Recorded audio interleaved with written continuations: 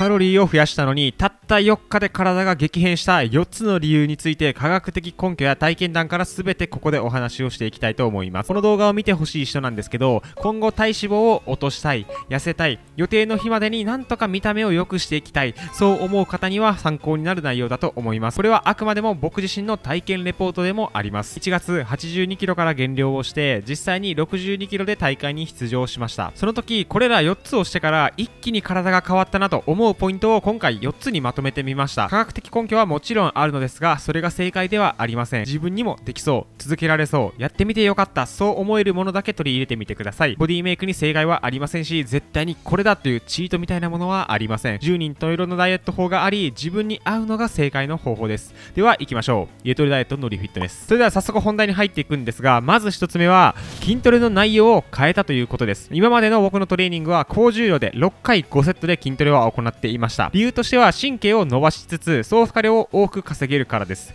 2021年の最新の論文でも筋肥大イコール総負荷量と言われておりその中でもストレスなく行えるのは中強度でのトレーニング。いわゆる10回3セット的なものです。これはよく聞くねセット数の回数とかまあテンプレ的なものですよね、まあ、それにはこういった理由がありました。なぜなら重すぎても回数っていうのは減ってきて軽すぎると回数が多くなりすぎて逆にストレスに感じるからです。例えばですねこう腕立て伏せを、ま、100回行えって言われても結構しんどいですよね。でもベンチプレス10回3セットだけ行えって言われたら、まあ、結構ね楽しくできるなっていう範囲だと思うんですね、まあ、このバランスっていうのが実は大事なのでこの10回3セットが一番この総負荷量を稼げるよと言われていた理由です。この研究で同時にですね筋力についても調べられた結果なんですけども筋力は高重量の方が伸びていたんですね。筋肥大イコール総負荷量であることからこの総負荷量を稼ぐためには重量を伸ばすことは欠かせないため重たいものを扱うことも実は大切になってきます。回数やセット数だけ増やすのにも限界があるからですね。この結果を踏まえて10回3セットも6回5セットも同じ30回になるのでより重たいものを持てる6回5セットの方が総負荷量も筋力も両方伸ばせてメリットがあると思い僕はずっと行っていました。1年前の全身法に比べて体は圧倒的に変わったのはここら辺のねセット数とかも総負荷量を増やしたのもあったからだと思っています。しかし減量も進んできて重たい重量も扱いにくく運動量はどんどん減っていき結果痩せにくくなってきました。ここから減量の最後の一絞りをしたくて内容を大きく変化させました。具体的には20から30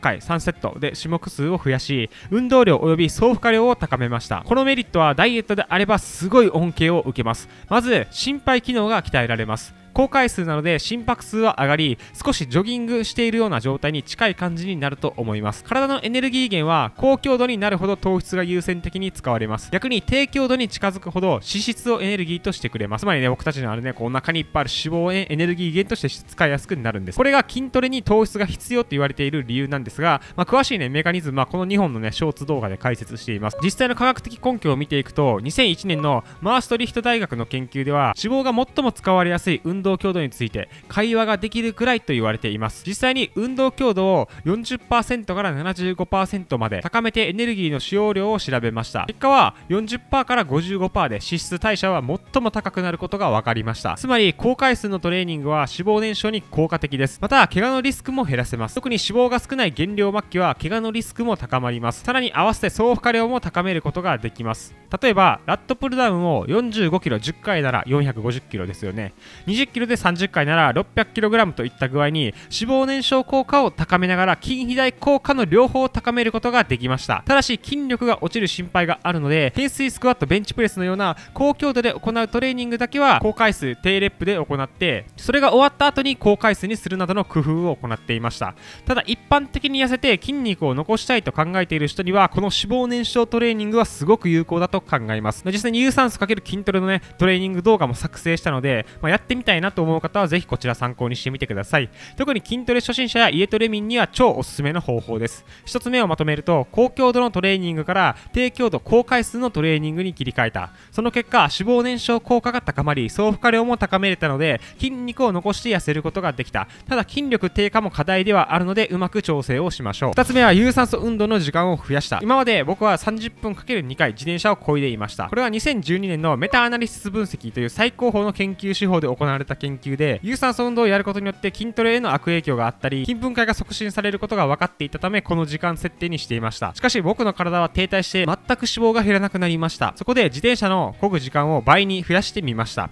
まあ、実際ね、やってみないとわからないということでちょっと増やしてみたんですね。実際に2014年の運動生理学の本では30分を超えると糖質のエネルギー代謝を上回るとの研究もあったため、まずは絞り切ることを目的としていたため、1時間2セットへと変えました。その結果、体にはすごい反応がありました。単純に消費カロリーが増えたのも大きな要因に思えますが、結果的に体脂肪を激減することができました。また、有酸素は空腹時が一番脂肪が燃えることが2001年の論文でも分かっています。この論文を詳しく見てみると、タンパク質だけを補給しても脂肪燃焼効果は高まっていました筋分解が怖い人はプロテインやタンパク質を食べてから有酸素運動をしても脂肪を効率よく燃やしてくれますただ糖質摂取よりタンパク質がよくタンパク質摂取より空腹の方がよりよく脂肪燃焼をしていましたこの結果で面白いのはは空腹時でも運動パフォーマンスは落ちていなかったという点です。最速で脂肪を落としたいなら空腹時の有酸素は最強です。空腹時はミトコンドリアも増えることが分かっているので結果的に代謝も上がります。ただ筋トレも合わせて行わないと筋肉の分解が多くなり基礎代謝が下がる可能性があるのでそこだけは注意をしてください。2つ目をまとめると体脂肪を落とすことだけを優先に考えると有酸素運動の時間は30分を超えてもよかった。また空腹時の有酸素の方が脂肪燃焼効果が高かったことが分かった。普段のダイエットでは有酸素運動を行わないことが多いのですがこの減量末期の残りね最後の一絞りをしたいっていう時に関しては食事を減らすことより運動量を増やした方が結果的に脂肪は減りやすかったイメージです。3つ目はヒートを2回するようになった。ヒートとは高強度インターバルトレーニングと言われて20秒全力10秒休憩。これを繰り返します。2019年のメタアナリス分析という信頼度の高い研究手法で行われた研究ではヒートだけしても体重減少に影響はなく心肺機能のみ強化していたと。ダイエット効果を否定しています。います。ただしヒートは単体では効果は発揮しませんが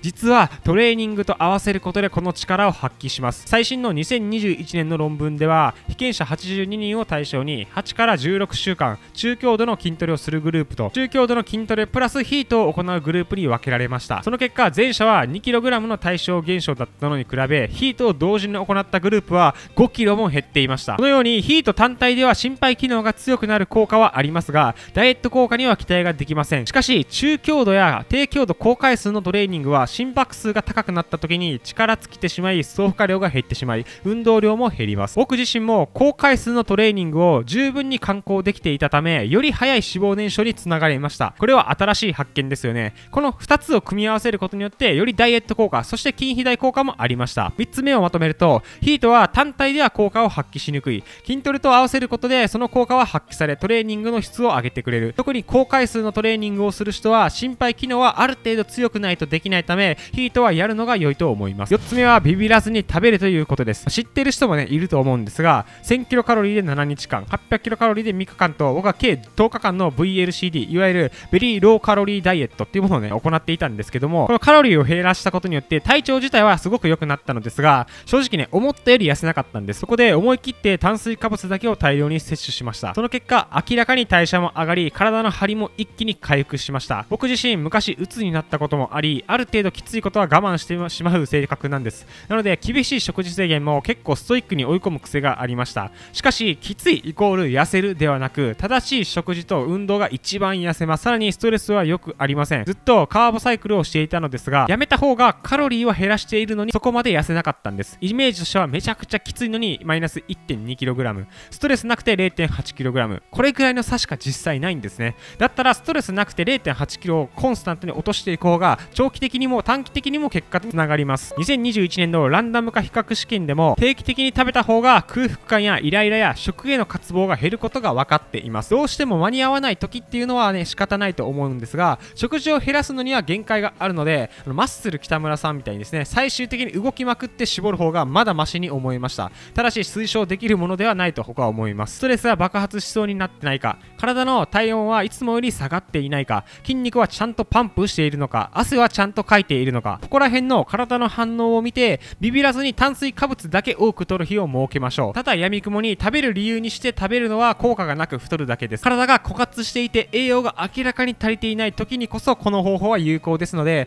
特に頑張りすぎてしまう人は思い切って食べてください。4つ目をまとめると体が停滞した時は思い切って食べましょう。特にイライラや食欲が爆発しそうな時はその前に対策策をしましょう。カロリーは削れば痩せるわけではありません。適度な食事と運動が結局一番痩せます。奇跡も魔法もありません。どうだったでしょうか？今回の減量での学びを全て公開していきました。あくまで短期的戦法的なねことも多かったんですが、まあ、これから大会を目指してみたいとか一回ね体脂肪を1桁にしてみたいっていう方にはね参考になる内容だったと思います。よかったと思う方は高評価ねだけでも押していただけると嬉しいです。僕もずっと失敗ばかりで今でも言われます。ガリガリですねって。でも比べるのは周りではなくて過去の自分だと思っています。一昨年去年と自分を比べて圧倒的に成長してきています。うさぎと亀なら断然亀かもしれません。でも結局は続けることが一番大切です。だから諦めずに僕と一緒に頑張っていきましょう。ここで告知です。現在2800人が参加しているノリフィットネスイエトレスクールでは僕が初めてマイナス18キロ腹筋を割ったノウハウや僕の友人がわずか3ヶ月で腹筋終わり1年後筋肉を大きくしたノウハウをまとめた3日間の配信を無料で見ることができます。ぜひ友達追加よろしくお願いします。